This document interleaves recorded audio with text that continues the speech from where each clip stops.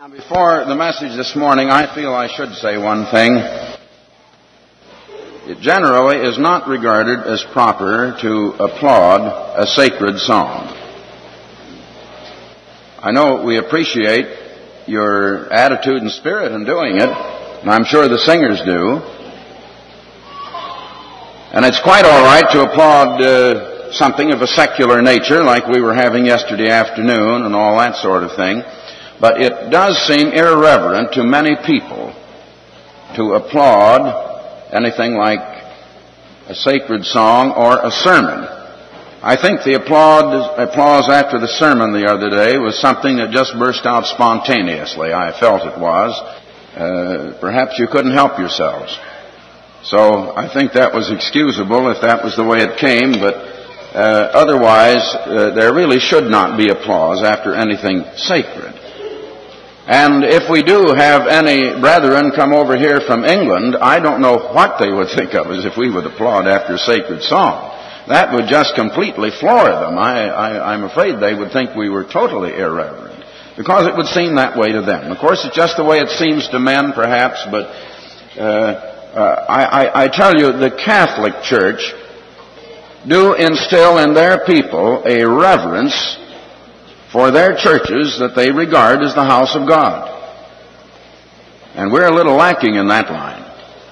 Now, I'm not so prejudiced against the Catholic Church that wherever they have a right principle or a right thing that I'm going to be poisoned against it. Not at all. You know, this world is made up of good and evil, and you can find good anywhere, and I'm going to copy what is right wherever I find it. As a matter of fact, a slogan you've heard me use, I, I, I don't mind giving credit. I heard it from Bishop Sheen on his television program. And that is that there is no missing link between man and the dumb brutes, and they're never going to find one, but there is a missing link. It's a missing link between man and God, and that is Jesus Christ. Well, that's absolutely true. I thought that was a wonderful point. A lot of people confuse the matter of government in the church, and because the Roman Catholic Church has very strict government in the church, they say, now we're just following Rome. That's not true at all. The devil does counterfeit the things of God. And I hope to show you this morning the difference between the government in the church at Rome and the government in the church of God. The difference is the government in the church of God is God's government.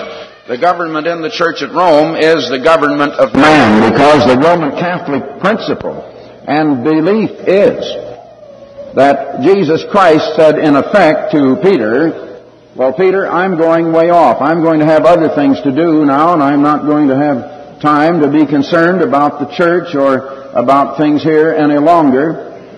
And so, uh, I'm going to turn it over to you. You run it. I'm going to be busy thinking about something else. I can't run the church any longer. And so that he turned it over to Peter, and that the popes are successors to Peter. Now there are two things wrong with that. The first of which is that Jesus Christ didn't say, I'm going to turn it over to anybody, but Jesus Christ went to heaven where for 1900 years he has been our high priest as head of the church. Head of his church. And when men run the church and say, well, Christ's out of it, we're running it now, that is not the church of Christ or the church of God. The second fallacy is that the popes are not the successors of Peter, and Peter never went to Rome. He was commanded to go to the lost sheep of the house of Israel, and at that time we know now they were up in the British Isles. Unless Peter might have stopped on the way to the British Isles in Rome. But when Christ said, go to the uh, lost sheep of the house of Israel, we know he didn't die on the way. They're going to pronounce very soon that the bones of Peter have been found under the Vatican. How could they identify them if they did find them? It simply is not true. It is a fraud. But it's going to have a great effect on the world. Now, the government of God is the primary issue from one uh, end of your Bible to the other. The first chapter of Genesis tells about the creation of man, but in the very second chapter, as soon as man is created, God commanded the man saying, God set before him a choice. And God says, choose my way, my laws, which I'm going to give you to be governed by me, which will give you happiness and peace and joy and life eternal with blessings now. Or your way, which is rebellion against the government of God and, and is the government of man. which will lead to curses here and now and death for eternity. Now that is the eternal issue. In the very last chapter of this book you find, Blessed are they that do His commandments, that they may have a right to the tree of life and may enter in through the gates into the city. That is your passport into the kingdom of God. And you'll have to have the passport to get there. Keeping the commandments of God, in other words, being conquered by God and yielding to the government of God. Now to some extent, God governs in His church.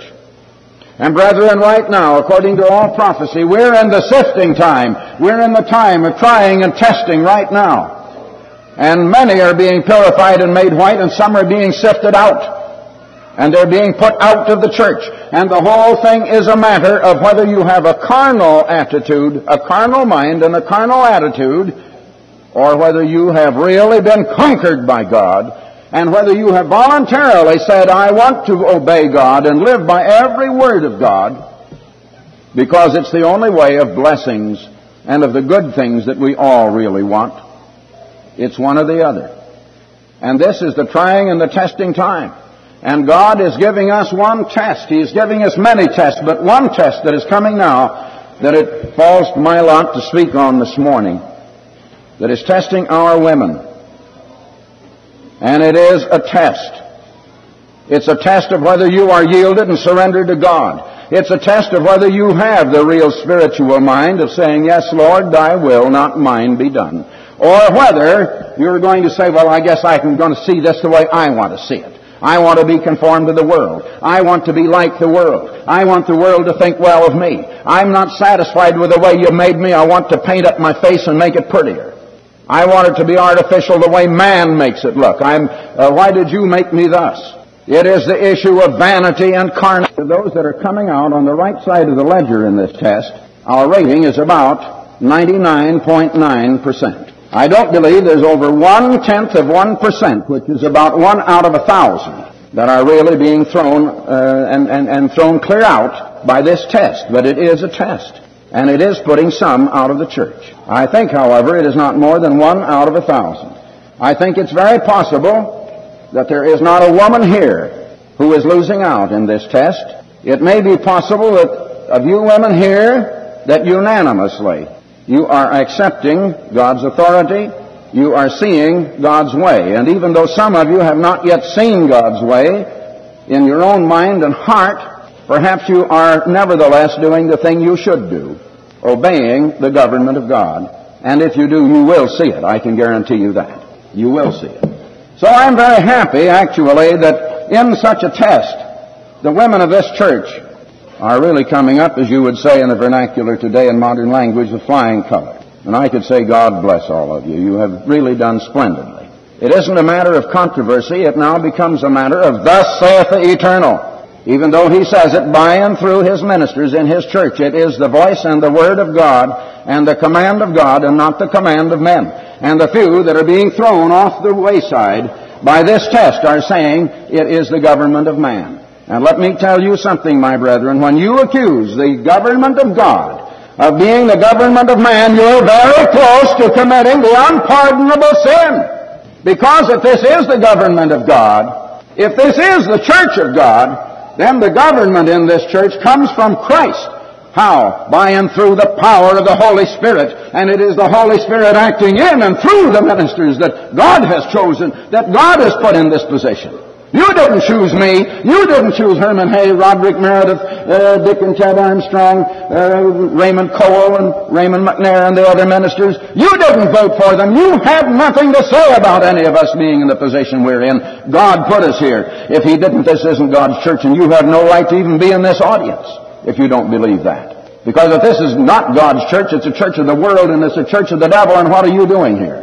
You know, that's the thing to think about. Now, how can you know? You can know by the fruits. And you must look to the fruits and decide whether this is God's church. And if it is, then as far as God rules through the church, and He doesn't rule all the way through the church, but there are certain ways in which He does, and to that extent, you must be subject to the government of God. Why, He tells you to even be subject to the, the worldly government, to the government of the unjust. How much more then must you be subject to the just government of God by the power of His Holy Spirit? And listen now, and listen carefully. It is true that God is doing this ruling through His own chosen instruments, human instruments.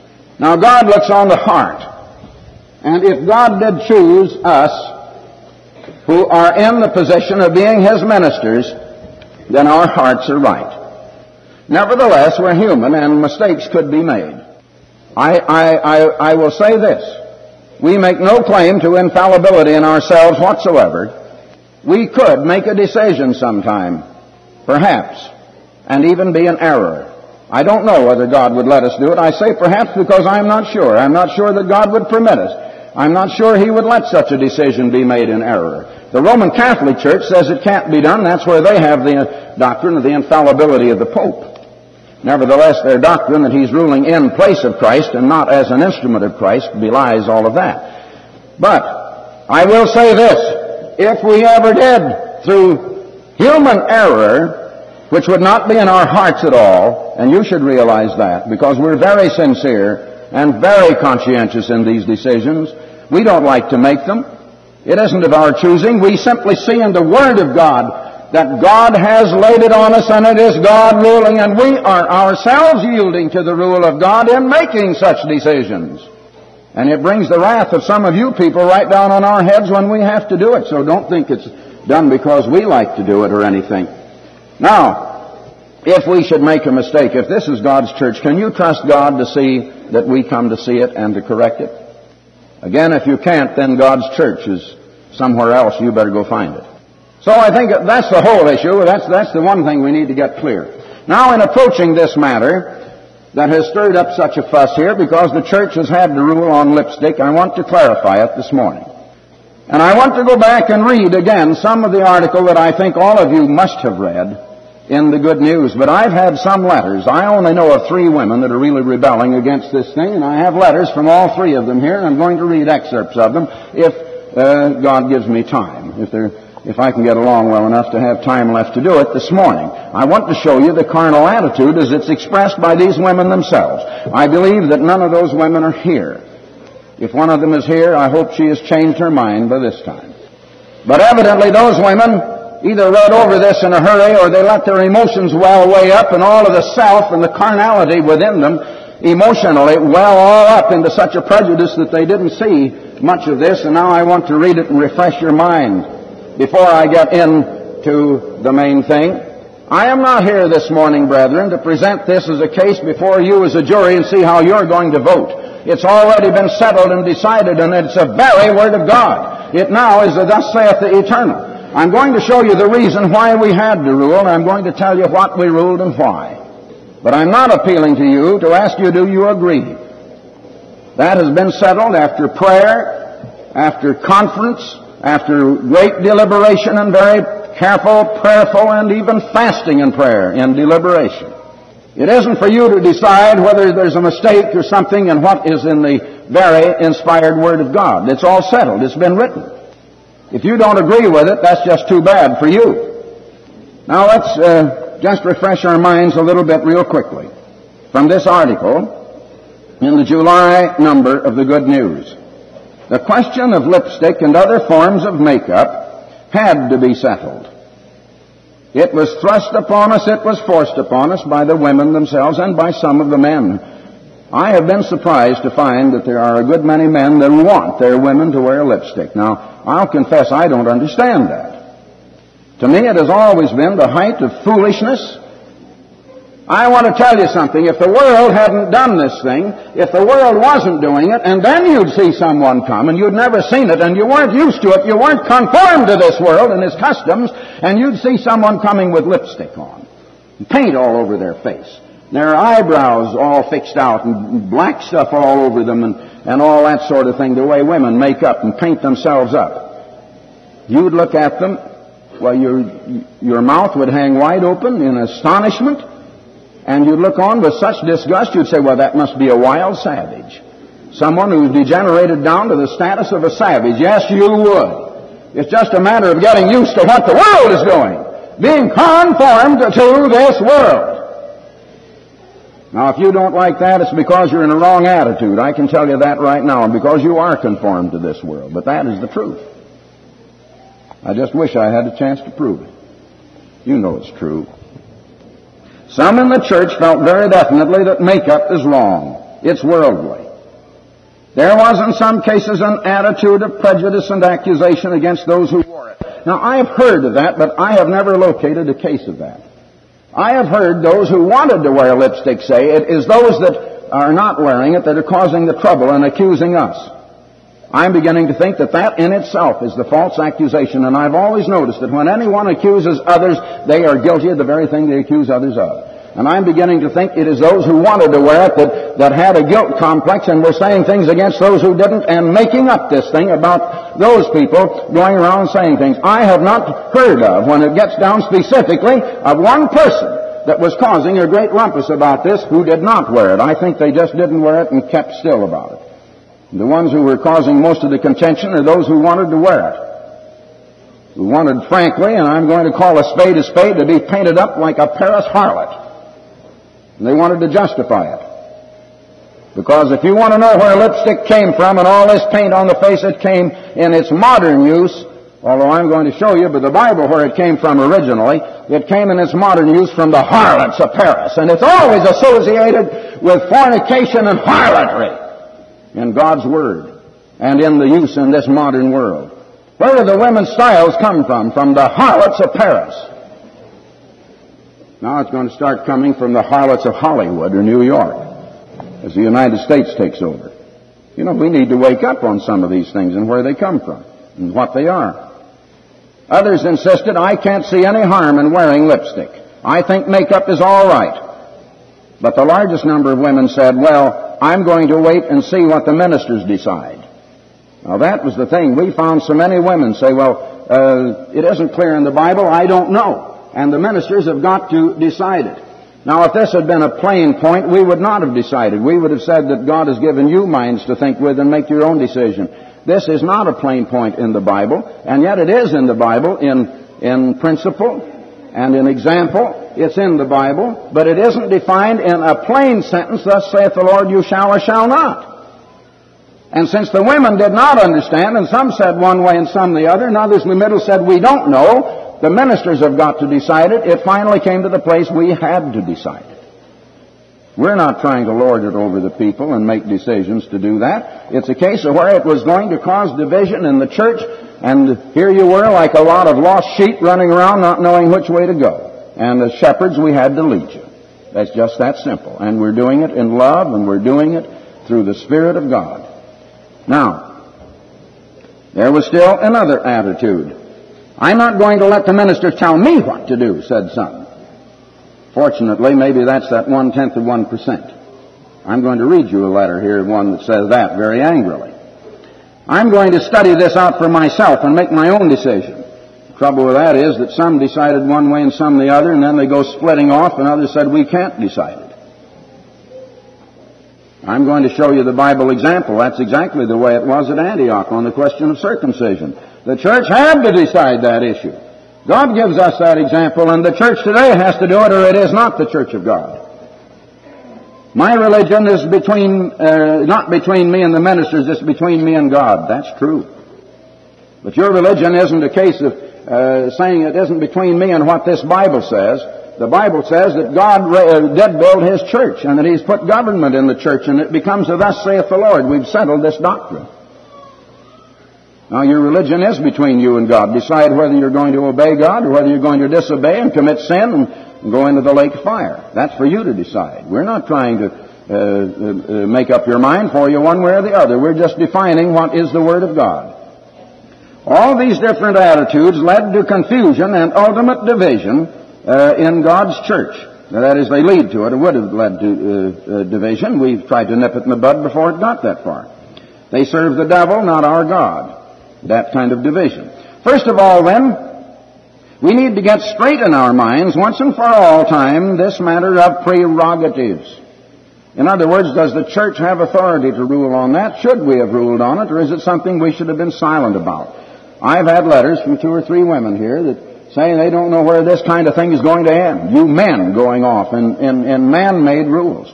My brethren, the one thing we preach is to get away from the government of man and get into the government of God. And if this is not the government of God, then we're lying to you. We're misleading and deceiving you. All ought to get up and walk out here and let me preach into thin air.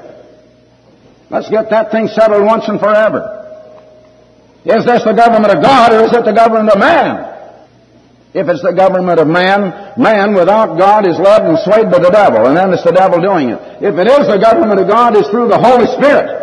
And if you accuse it of being the government of man when it is of God, you are saying it is the work of the devil under the influence of the devil when it is the work of the Holy Spirit, and that is blasphemy that becomes the unpardonable sin from which there is no repentance and no forgiveness in this life or in the world to come.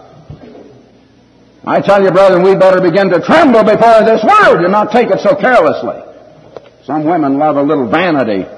It isn't the paint on their face, it's vanity in the heart that they love a whole lot more than the Word of God. They have never been conquered and they have not surrendered to God Almighty.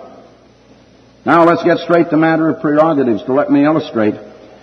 Healing the sick is God's prerogative, not man's. God says, I am the God that healeth thee. His name is Yahweh Rapha, the God who heals us. And he says, Thou shalt have no other gods before me. To go to a man, or a man-developed science, falsely so called, for healing them, is to break the very first command, Thou shalt have no other gods before me. Some of you have been doing that. Now, healing is God's prerogatives, not man's. God is a jealous God, jealous of His prerogatives.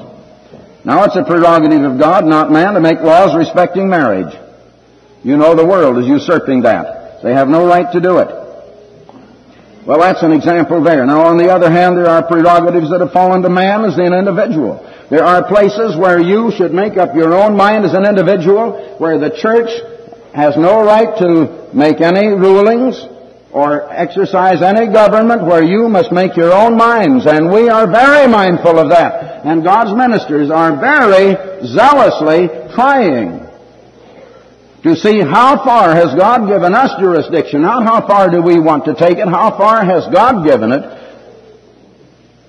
That is, how far does God's jurisdiction through us as instruments extend, and where is it a matter for you to make the decision, and where is it a matter for the church to make the decision?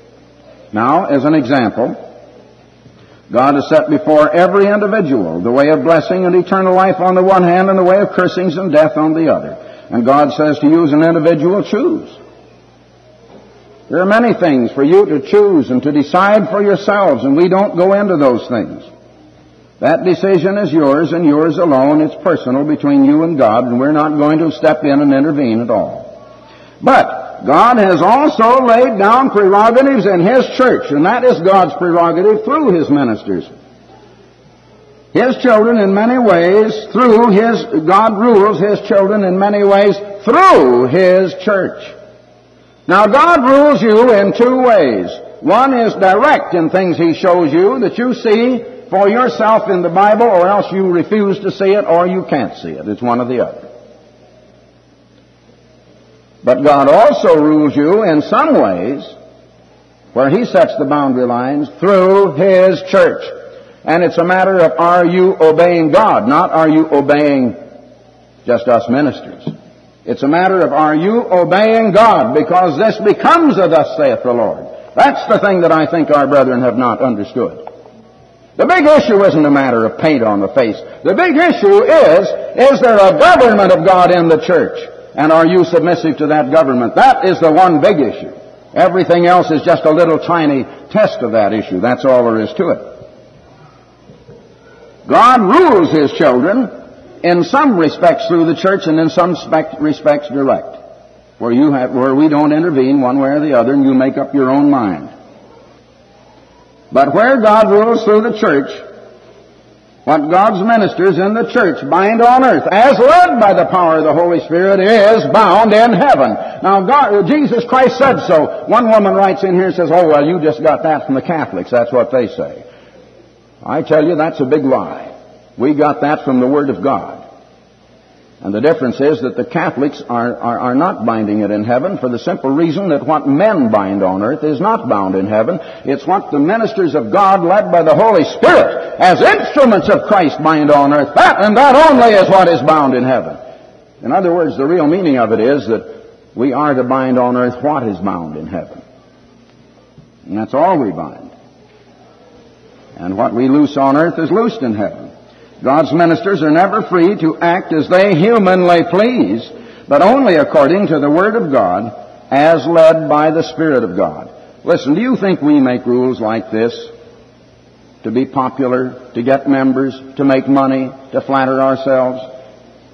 Why, if we would say, as these women that have written me in these letters say, just let us do as we please and then we'll all come to church, how many more could we have? If we go the broad way that leads to destruction, the way the people like, why, we could build a tab- tabernacle maybe 20 or 30, 100 times this size and fill it. Frankly, I tell you, I believe. I, I really believe that God has given me enough preaching power and ability that uh, if, if I could still have that ability and, and preach the worldly message, I believe that I could fill tents and tabernacles of 20,000 people right along. I think you'd believe that too. Oh no, we aren't doing this to be popular. We aren't doing it because we want to. We're doing it because God commands it and because we fear God, we tremble to disobey what this book says. Because we ourselves have surrendered to God. Because we have been conquered. And He has chosen us as His instruments. It's very important that we realize the jurisdiction of the church. There's the big issue. Problems arise which, uh, in which individual members are not competent to judge. And this has proved to be one of them. There have, for example, been a number of divorce and remarriage problems presented before the ministers of God's church. The parties directly concerned felt unable or incompetent to judge, and they lacked the authority to render a binding decision. In that case, the ministers looked into it and rendered decisions. Occasionally doctrinal questions arise.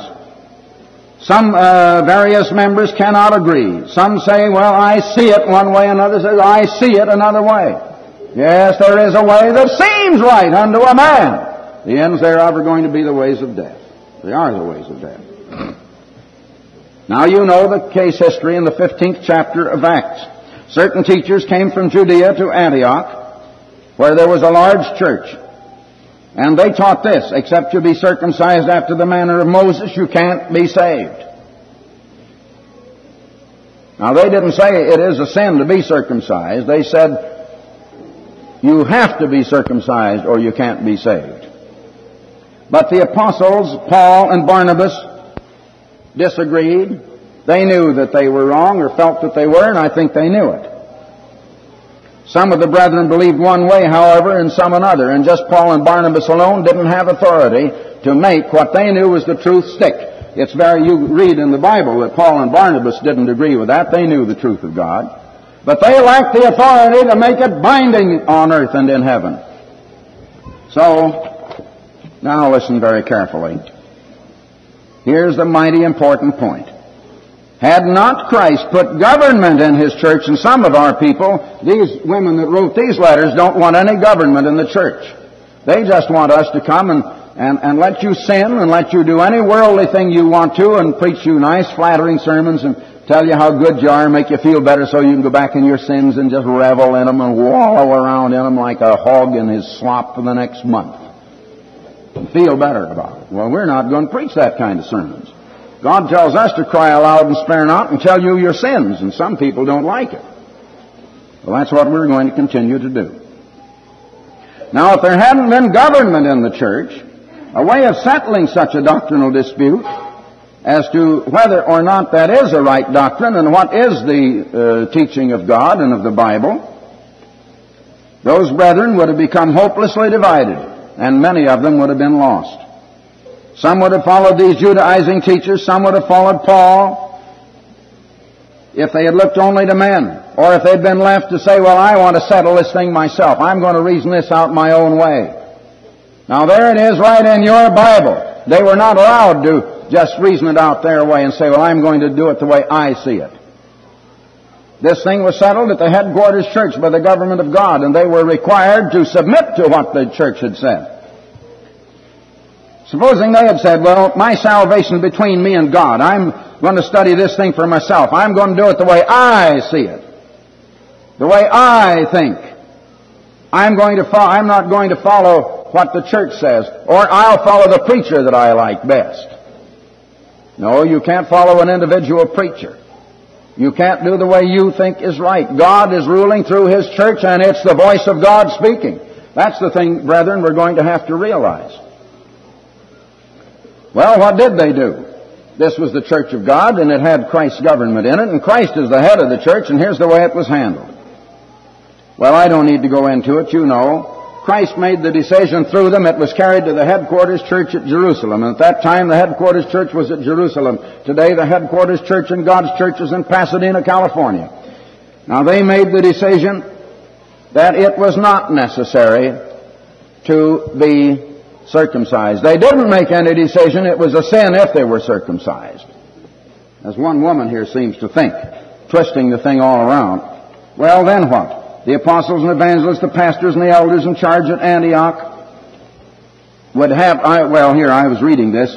Supposing some had said, well, I disagree. I'm not going to let the headquarters church tell me what to do and believe. I'm going to look into this myself. Now, there have been a very few, and so far as I know, it's only about one out of a thousand women that are, well, maybe it's more than one out of a thousand women. It's one out of a thousand of our members. So let's put it that way, that are saying this, and I'm going to decide it for myself. Well, what would they have done then? they would have followed the teaching of Romans 16, 17, where it says, Mark them that cause division, divisions and offenses, contrary to the doctrine which you have learned.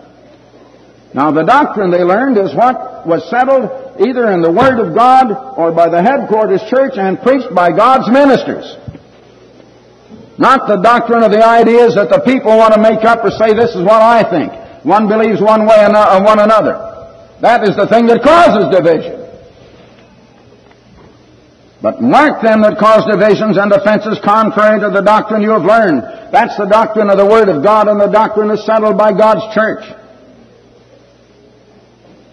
And avoid them, which means the only way you can avoid them, either you have to go away from them or put them away from you. So since the whole church can't move out, you just put them out of the fellowship, that's all. God puts them out of the church. In order to avoid them, the ministers would have been forced to disfellowship them and prevent their attending church and forbid any member to receive them into his home or to listen to them in any manner on pain of themselves being disfellowshipped. Now here's the very sad part of it. If it comes to a place where we, in this modern day, have to make such a decision and disfellowship some person, that person every time is in a wrong spirit and they'll go around, they'll say, look, I'm an underdog. This wasn't fair. These men, it wasn't God, it was these men and they weren't fair. And they're going to look for sympathy. They're going to come crying on your shoulder. They're going to say, you come with me my way instead of those men. What are they saying? I'm going the way of the devil. You come with me into the lake of fire. Those men are all wrong. They're going up into the kingdom of God. Are you going to listen to that? It's human nature to want to go with the underdog every time.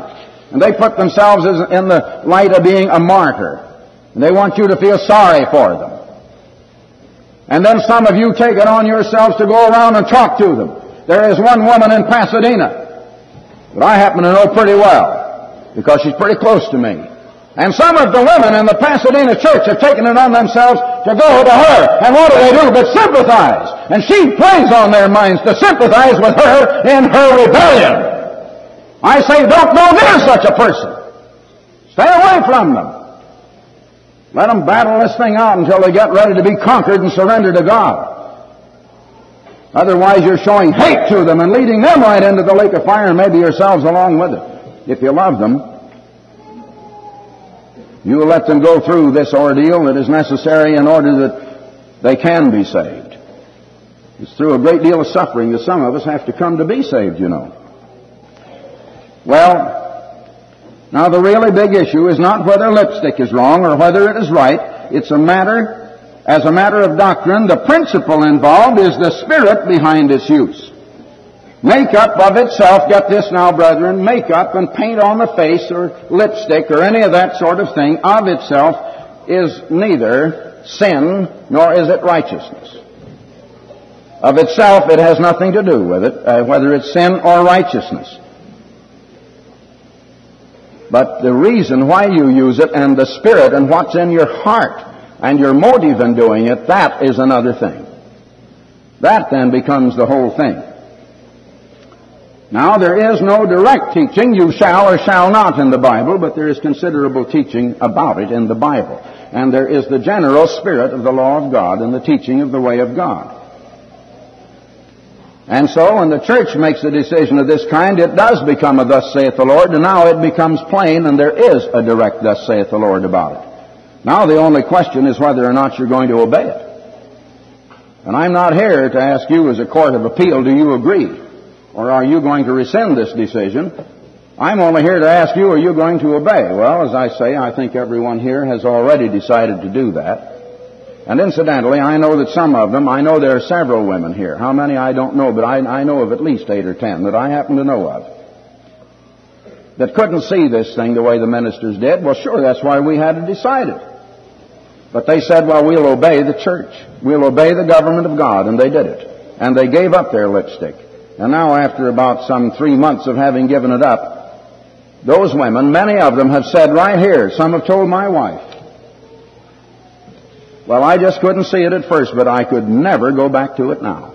I just never could. It seems filthy and dirty and everything else, and I, well, I see now how wrong it is.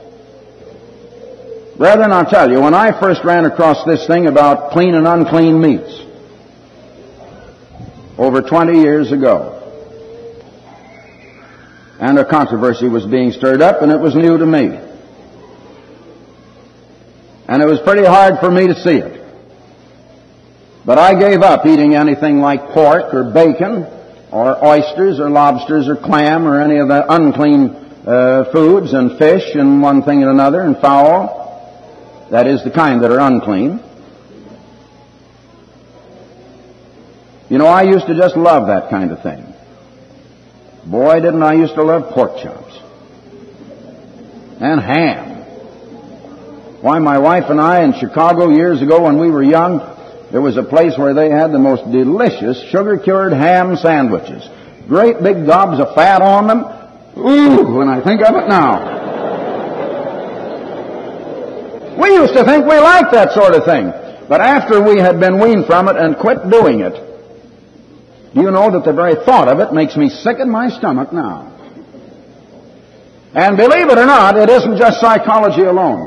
I have gotten lard in things in restaurants when I didn't know it and would never have eaten it if I had known it.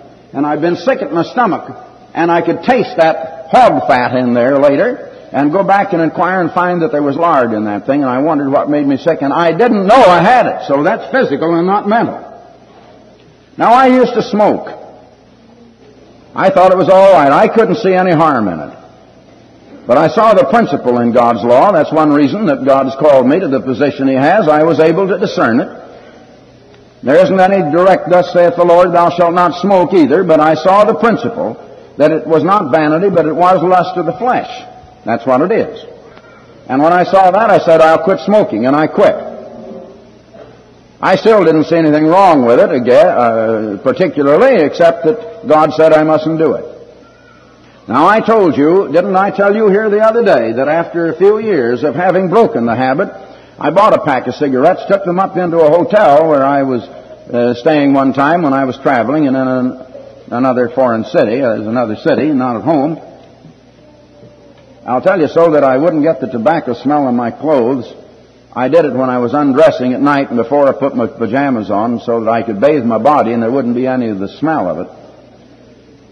And I only smoked part of one cigarette and it was, it seemed filthy and dirty. Now I, it never seemed like that to me before. And so I threw that whole pack away and that cured me forever. Now that's the way it is with lipstick. A lot of women, it's a lot of babies that haven't been weaned from the breast, you know. They just don't want to get away from it, do they? But after they've been weaned, you can't put them back on it. And after some of you women get weaned from this lipstick, you will wonder why you ever used it. And many of you are already in that condition. I think a good many of you are already in that condition. You wonder why you ever did do it, just like I wondered why I ever smoked. All right, come on in. The water's fine. It may seem cold to your toesies, but when you get in, the water's fine. I'm telling you. God's way is best for me and best for you. That's the right way. All right, now let's see. I'm skipping over most of this, but a few points I want to bring out. Now, women who have grown up from little girls conformed to this way, world and its ways in regard to makeup do not see and they do not feel that lipstick or any other makeup on the face is wrong. They can't see any harm in it. Now, some of you are still in that condition. But women who have been weaned from it no longer conformed to this world, but who have been transformed in the spirit of their minds by the Holy Spirit of God, freed from this addiction, and it is an addiction of vanity, and of wanting to be like the rest of the world and part of the world and well of by the world because you fear the world and you're afraid of what will the world say. That's why women do it. They're afraid of the world, but they're not afraid of God. They don't tremble at this word. They only tremble before the world. How many of you women are like that here? All right, choose ye this day where you stand. If God be God, then follow Him. If the world is your God, go and love it and get all the vanity and all of the lust and greed out of it you can and all the enjoyment you can while you're living now because you aren't going to have it very long. You'll be getting your reward right now. I say make up your mind this day where you stand following the ways of harlots. But the really big issue is not the right or wrong of lipstick or tobacco or any of these things. The big issue is one that transcends all that. The big issue is the matter of obedience to God. Now I'd like to come back to that a little later if there's time. But right now I want to get into the main message. Still have to hurry. Will you turn to Isaiah 66? Verses 1 and 2. Thus saith the Eternal. Here's a thus saith the Lord. The heaven is my throne, the earth is my footstool. Where is the house that you build unto me? And where is the place of my rest? For all those things hath mine hand made, and all those things have been, saith the Eternal. But to this man will I look, even to him that is of a poor and a contrite spirit, that trembleth at my word. Do you tremble at the word of God, or do you tremble before this world following the harlots of Paris? Which? There's the big issue. Are we the people of God? Are we God's church? If we are, my brethren, we are a separate and a peculiar people. Not different from the world in that the men wear long whiskers and the women wear bonnets and the men a funny kind of a black hat on their heads that makes everybody look at them and laugh and, and uh, make funny wisecracks about them. But different in that we obey God and the ways that are right and follow the laws that God set in motion for our good while the world is going on in the ways that seem good but which are only bringing unhappiness and misery and empty lives and suffering and death. Do we tremble at the Word of God or at the world? If we're spirit-minded, we're separated from the world because God called us to be a separate and a peculiar people. He called us to be separate from the world. Jesus said that we are the light of the world and the only light in the world. You can put a lot of that light out by being like the world and saying, I, I, want, I want the world to think I'm like it is. I'm going to put on my lipstick. And I, while I think of it, I'm going to say right here, in Pasadena, California, you find perhaps the most cultural city in the United States of America. It has been. It's fast becoming more of a general type of city like any other city as it grows and expands and, and uh, uh, the old millionaires are dying out there and more uh, people that are working people and working in factories even are moving in. But it still is a very cultural city. Now there are many widows living in Pasadena that are widows of wealthy men. Many of them live in the Green Hotel and many of them live at the famous Huntington Hotel. For instance, I know that the wife of the former president of the Union Pacific Railroad lives there And the Union Pacific is the wealthiest railroad in the United States. They own the New York Central and a lot of other big railroads in addition.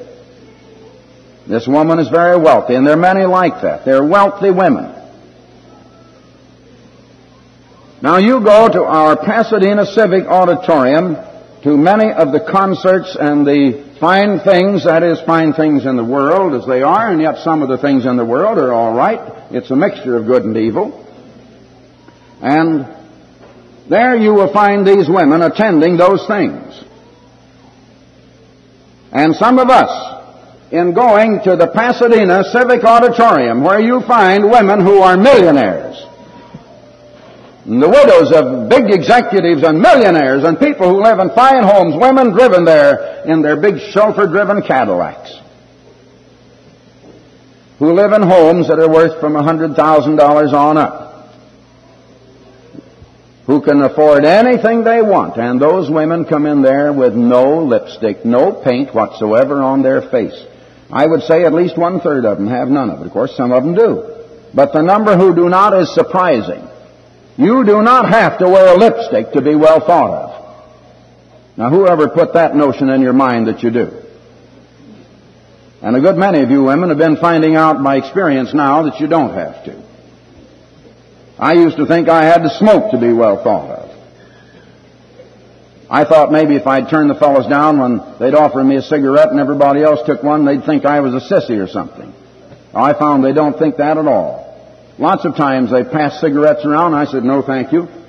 Hmm, you haven't got the habit, huh? Boy, I wish I could break it. I wish I was in your shoes. Oh, they envy me. They don't make fun of me. Why are we ashamed of right things?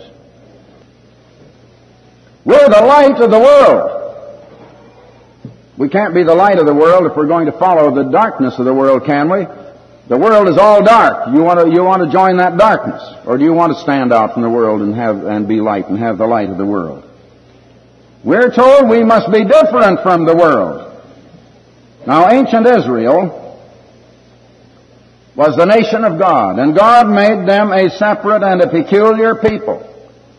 They were to be God's nation. Of course, they didn't want to remain that way. They wanted to be like the world around them, and that was a very great sin. That's the trouble with a lot of our people today. God tells us to be separate. Come out from among the world and be separate. But no, we want to be like the world, just like ancient Israel, and that is a sin. Deuteronomy 14, the first two verses. You are the children of the eternal your God. You shall not cut yourselves, nor make any baldness between your eyes for the dead, for thou art an holy people unto the eternal thy God and the, and, and the Eternal hath chosen thee to be a peculiar people unto himself, above all the nations that are on the earth. Brethren, we're to be above all the people on this earth. Spiritually. Not in money, not necessarily in education, or in things of that sort even. Although, remember, God prospers those that serve Him, and God wishes we might prosper and be in health and, and uh, all that sort of thing. But it's, uh, we're above other people spiritually. That's the real thing that counts.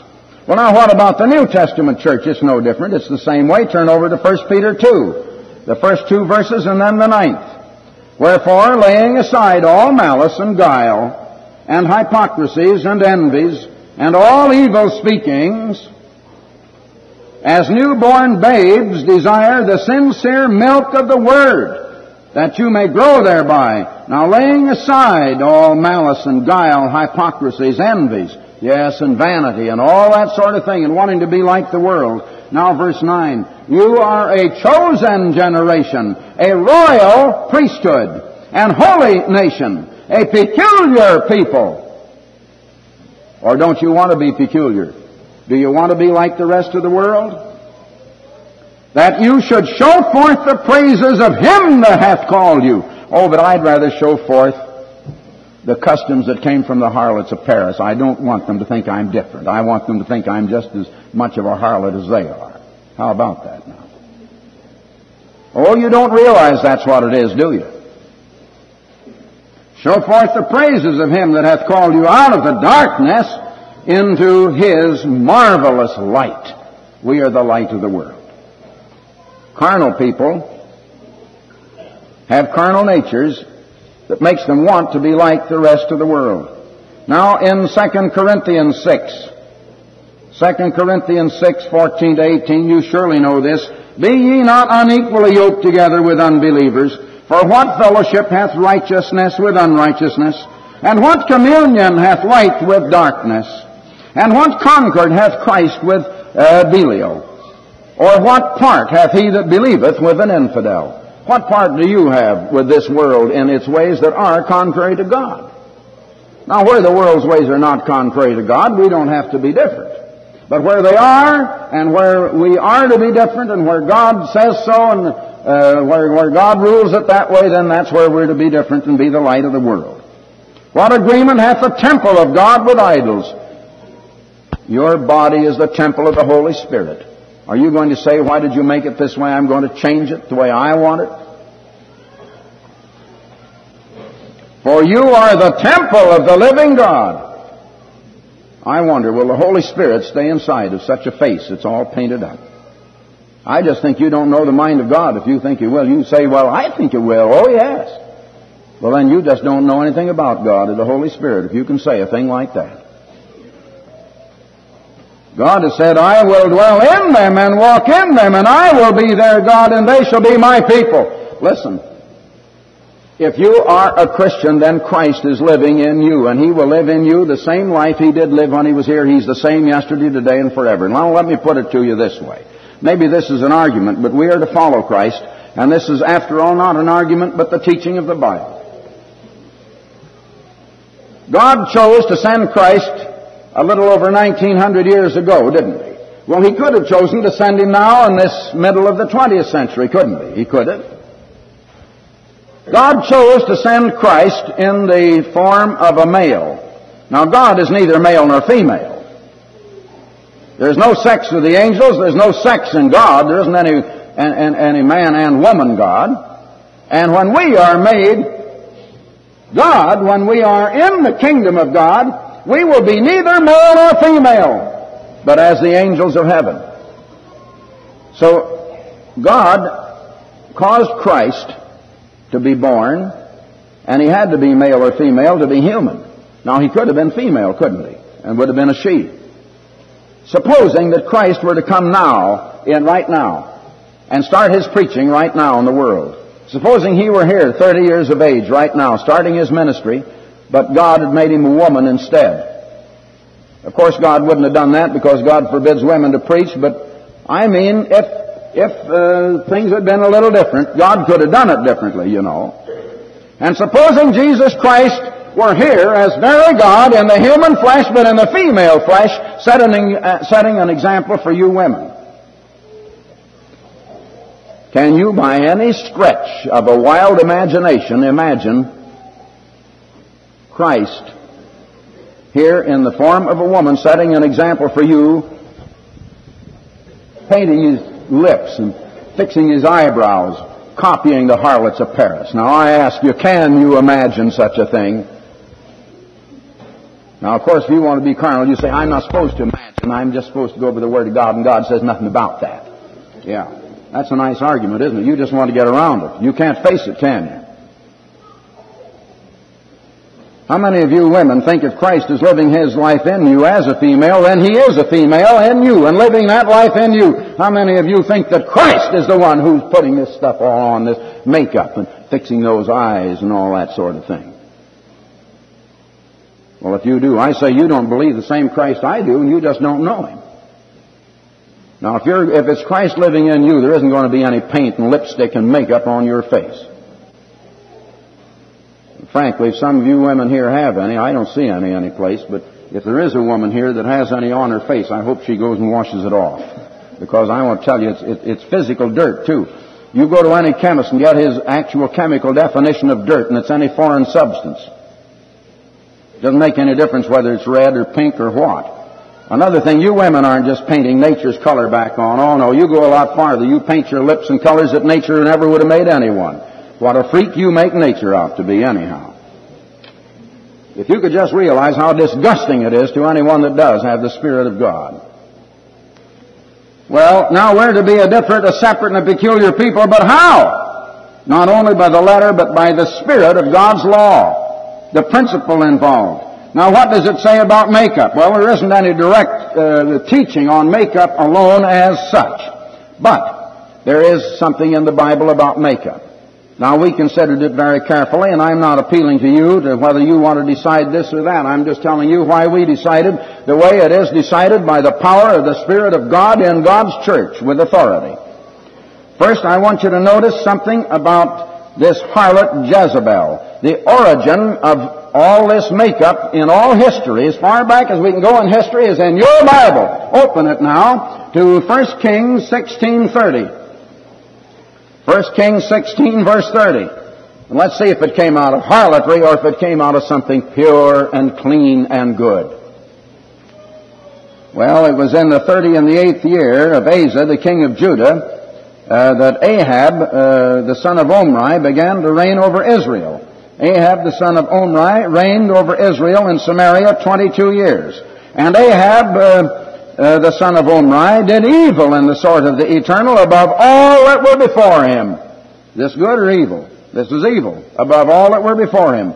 And it came to pass, as if it had been a light thing for him to walk in the sins of Jeroboam, the son of Nebat, that he took to wife Jezebel, the daughter of Ethbaal, the king of the Zidonians. And he went and served Baal and worshipped him the most abominable idolatry there is to God. Now this woman was what? She was a paragon of harlotry. In some respects, she's been even called the mother of harlots and abominations. This woman Jezebel is the type of what God calls that woman of filthy fornication that is described in Revelation 17 and 18 that has made all the earth drunk with the wine of her fornication. And he, he reared up an altar for Baal in the house of Baal, which he had built in Samaria.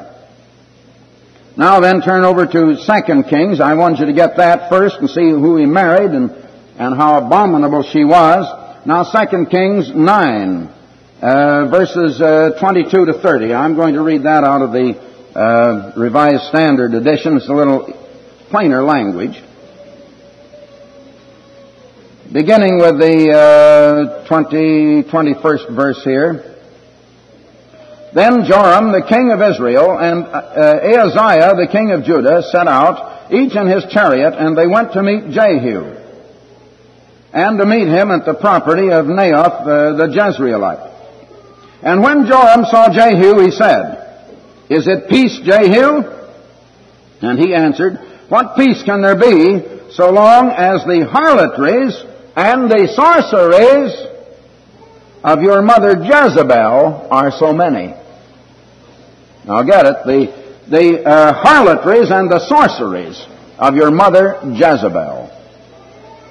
Now notice verse 30. And Jehu came to Jezreel Jezebel heard, or when Jehu came to Jezreel, Jezebel heard of it, and she painted her eyes, and she adorned her head and looked out of the window. Why? To seduce the man with sex. With her harlotry, with her seduction, her seductive feminine charms. The way of a harlot. Now at that time they painted the eyes. Forty years ago they painted the cheeks. Today they paint the lips. Doesn't make any difference. It's paint on the face. Same thing. It's just a matter of a fad of the time as to where they put the paint. Now I want you to look at Israel and Judah. In uh, the 23rd chapter of Ezekiel, God is revealing here the truth about Israel and Judah, and they are compared here to two women. Now notice what he says about these two women. Ezekiel 23, verses, oh, from 1 to 40. I'm going to read various parts of it, but not all of it. The word of the Eternal came unto me, Son of man, there were two women, daughters of one mother. They played the harlot in Egypt. Verse 4, Oholah was the name of the elder, and Oholibah was the name of the younger sister. Now God says they became mine and they bore sons and daughters. As for their names, Oholah is Samaria. He uses that name now to compare it to Samaria, which was the capital of the ten tribes. And Oholibah is Jerusalem, the capital of Judah, of the two nations of God's people Israel. Now, Oholah, that's the house of Israel, played the harlot while she was mine. She doted on her lovers, the Assyrians. Verse 5, she bestowed her harlotries upon them, choicest men of Assyria, all of them. She defiled herself with all the idols of everyone on whom she doted. Now actually, what was all of this? This is speaking of it symbolically, but actually they wanted to be like the nations around them. And the only reason in the world that any woman uses lipstick or anything of the kind today or paint on her face is to be like the women around you because you're afraid of what they're going to think, because you want to look prettier, or you want to be well thought of by the world, not by the people in God's church because they won't think well of you. In other words, it's either wanting to conform to the world and be like the world, the thing God condemns, or it's vanity, whether you know your own mind that well or whether you don't. And I tell you, a lot of women don't know their own minds where vanity is concerned. It's just so much a part of their natures, they don't even know it. They'll swear up and down, I have no vanity. I know one woman that I know very well that says, I have no vanity. I just don't have any vanity. That same woman says, I would rather be pretty than have character and brains. The thing God put her on earth for. I'd rather be pretty to the world. No, she has no vanity. That's just like the wrestler that's gouging the eyes of a guy that the, he says, no referee, I'm not doing it. No, I'm not doing it at all, but he's just gouging as hard as he can gouge. No, I haven't any vanity. Not much. Except that I'm just filled with it. She did not give up her harlotry. For in her youth, men had lain with her and handled her virgin bosom and poured out their lust upon her. Therefore God says, I delivered her into the hands of her lovers, in other words, her allies that she had made alliance, into the hands of the Assyrians. Now verse 10, these uncovered her nakedness they seized her sons and daughters. They saw, uh, uh, and her they slew with the sword. Now verse 11. Her sister Oholibah, this is Judah, the Jewish people, saw this, yet she was more corrupt than she, in, than she, that is, than Israel, in her doting and in her harlotry, which was worse than that of her sister. Now if you will drop down to verse 16. When she saw them, uh, she doted upon them, and she sent messengers uh, to them in Chaldea, and so on. Now, verse 18. Uh, she carried on her harlotry so openly and flaunted her nakedness. I, God says, I turned in disgust from her. Is God going to turn in disgust from any of you? I hope not. I turned in disgust from her as I had turned from her sister, yet she increased her harlotry. She increased her harlotry. Verse 22, Therefore, O Oholibah, thus saith the Lord God, Behold, I will rouse against you your lovers. Now verse 27, Thus I will put an end to the lewdness, your lewdness, and your harlotry brought from the land of Egypt. And this kind of thing comes from Egypt too. You go back and uh, you get the pictures and everything else and learn how the ancient Egyptian women painted their faces and painted their mummies and everything else after they died. Now, verse, uh, the very last part of verse uh, uh, 29 and on to verse 30. Your lewdness and your harlotry have brought upon you because you played the harlot with the nations and polluted yourself with their idols. You have gone the way of your sister. Now, verse 35. Thus says the eternal God. Because you have forgotten me and cast behind, cast me behind your back, Therefore, but of course they said, no, we're not doing anything of the kind. I just don't agree with you, they said. I don't believe a word of it. We're not doing it. Therefore, bear the consequences of your lewdness and your harlotry. The Eternal said to me, Son of man, will you judge Oholah and Oholibah? Then declare to them their abominable deeds. Now listen, abominable deeds. What are these deeds? For they have com- committed adultery, and blood is upon their hands. With their idols they have committed adultery. Moreover, this they have done to me. They have defiled my sanctuary. On the same day they profaned my Sabbaths. Latter part of verse 39, and lo, this is what they did in my house. They even sent for men to come from far, to whom a messenger was sent, and lo, they came. For them you bathed yourself, you painted your eyes, you decked yourself with ornaments, you sat upon a stately couch with a table spread before it, on which you had placed my incense and my oil. Now you see the category that God puts this painting into the face in. Verse 48. Thus will I put an end to lewdness in the land, that all women may take warning and not commit lewdness, as you have done. And you shall bear the penalty for your sinful idolatry, and you shall know that I am the Eternal. Always when a woman paints her face, it is uh, an attempt to change the appearance the way God made her.